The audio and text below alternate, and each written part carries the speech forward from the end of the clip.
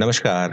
आप सबका स्वागत है आपके अपने चैनल पर और आज की इस छोटी सी वीडियो में मैं आपके साथ शेयर करूँगा कुछ बहुत ही इम्पोर्टेंट बातें जो आपको शायद पता नहीं होंगी कि बहुत सारे घरों में शुक्रवार या कहूँ गुरुवार के दिन गूगल और रविवार को गूगल का प्रयोग किया जाता है। इसके पीछे रीजन क्या है? आइए आपको इस वीडियो के माध्यम से मैं आपको बताता हूँ। अक्सर हम लोग देखते हैं कि घर के अंदर धूप जलाई जाती है और उसका आध्यात्मिक महत्व भी है। कई कई प्रकार की धूप आजकल आपको बाज़ार में देखने को मिलती है, लेकिन विशेषकर जो धूप आपको मिलती है, वो होती है गूगल। गूगल के बहुत ही अद्भुत फ़ायदे होते हैं। तो कुछ फ़ायदे, पाँच फ़ायदे मैं आज आपको बताऊँगा। तो वीडियो को देखिएगा पूरा, जिससे आप सारी चीज़ों को अच्छे से समझ पाए। बीच में छोड़ के बिल्कुल भी मत जाइएगा। चैनल को सब्सक्राइब कीजिएगा बेलाइकन को दबाइएगा।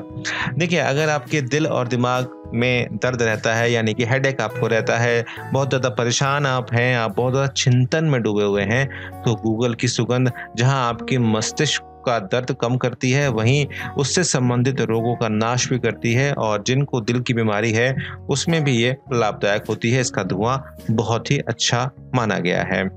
घर में साफ़ सफ़ाई करते समय, देखिए, कई बार ऐसा हमें महसूस होता है कि हमारे ऊपर किसी ने कुछ कर दिया है, घर में किसी के ऊपर कर दिया है तो उसका जो उपाय है, वो बहुत छोटा सा उपाय है, वो मैं आपको बता रहा हूँ। तो घर में साफ़ सफ़ाई रखते हुए पीपल के पत्तों से सात दिन तक घर में गौमूत्र की छींटे मारें, उसके बाद शुद्ध गूगल की धूप जला दें। इससे अगर किसी ने घर के ऊपर कुछ किया हुआ होगा तो वह दूर हो जाएगा। ये बहुत ही सार्थक एक उपाय है। अगर घर में आपसी कलह रहती है भाई भाई में नहीं बनती बाप बेटे में नहीं बनती, या जीवन साथी के साथ कुछ अनबन चल रही है तो हफ़्ते में एक बार किसी भी दिन घर में कांडा जलाकर गूगल या गूगल की धुनी देने से ग्रह कलह शांत होती है।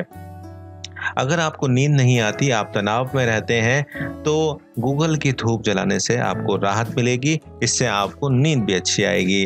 वहीं पारिवारिक जो शक्तियाँ होती हैं या कहूँ एक कुटुंब में जो शक्तियाँ होती हैं, जैसे मैंने आपको बताया कि ग्रह कलह अगर आपकी रहती है तो इसमें आपको इसकी मदद मिलती है। धूप जो है गूगल जो है वो देवी देवताओं को ज़रूर आपको करनी चाहिए अर्पण। इससे आपको बहुत फ़ायदा होता है। अब समस्या ये आती है कि जलाएँ कैसे?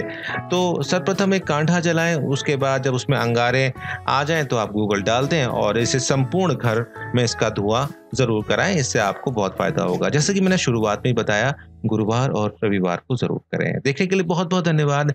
इसी तरह चैनल पर अपना आशीर्वाद देते रहें, वीडियो को आगे शेयर करें।